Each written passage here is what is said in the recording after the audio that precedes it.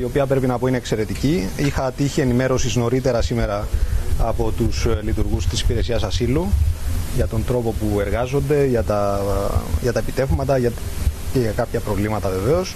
Ε, οπότε ήθελα να διαπιστώσω και εγώ ε, το πώς λειτουργεί εδώ το κέντρο υποδοχής.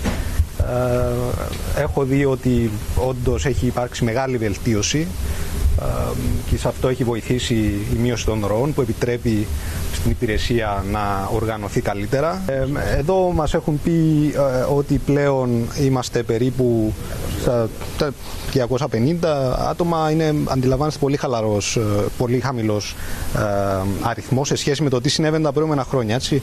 Άρα αν το δούμε εξελικτικά υπάρχει μια βελτίωση ε, όχι μόνο από πλευράς αριθμών, δεν είναι μόνο οι αριθμοί το ζήτημα, είναι και το θέμα της, ε, της διαβίωσης των ανθρώπων αυτών. Δηλαδή αντιλαμβάνεστε ότι αν δεν υπάρχουν, αν δεν μπορεί ο χώρος να φιλοξενήσει πολλούς, ε, όταν όντως ε, και είχαμε φτάσει σε αριθμούς 3.000 είναι πολύ δύσκολη κατάσταση και για τα άτομα αυτά, οπότε είναι θετικό ότι μειώνονται, μπορούν να γίνουν καλύτερα οι διαδικασίες.